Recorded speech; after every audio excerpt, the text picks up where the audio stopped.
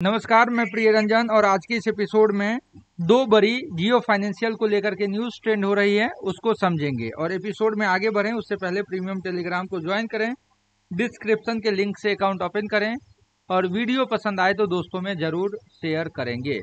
पहली न्यूज़ ये है कि बीएससी इंडाइसिस से जो जियो फाइनेंशियल सर्विस है, वो रिप्लेस करेगी सन होली को बी एस फाइव हंड्रेड से B S C Navin Fluorine को और B S C two fifty large mid cap से नवीन फ्लोराइन को ही और सनफोली को टू फिफ्टी और फोर हंड्रेड से सनफोली को।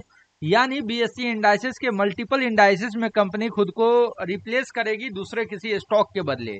और दूसरी खबर ये आ रही है कि एफएनओ के इंक्लूजन जियो फाइनेंशियल शेयर के हो सकते हैं, जिसके कारण वोलेटिलिटी जो है बढ़ते दिखेगी और शॉर्ट टर्म ट्रेडर भी ठीक ठाक पैसा बना पाएगा। आज नॉमिनल वॉल्यूम ही रहा। रिसेंट में एक बड़ा न्यूज़ यही दिखा था, जहाँ बीटा मोड के ऐप कंपनी ने लॉन्च करे थे। रिसेंट की डिलीवरी बेटर रही है। टेक्निकल ट्रेंड देखेंगे तो एक रिवर्सल रहा है, फिर भी सेक्टर के अंडर परफॉर्म ही।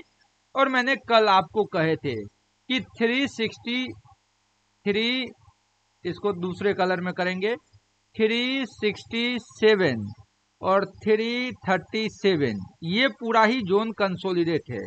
एक बार ऊपर या नीचे जाए तो बड़ा ट्रेंड होगा और मैं चाहूँगा कि 367 के ब्रेकआउट का वेट करें तो हम बड़े ट्रेंड को आइडेंटिफाई कर सकते हैं। तो आई होप ये वीडियो इन्फॉर्मेटिव रहा। Thank you for watching this video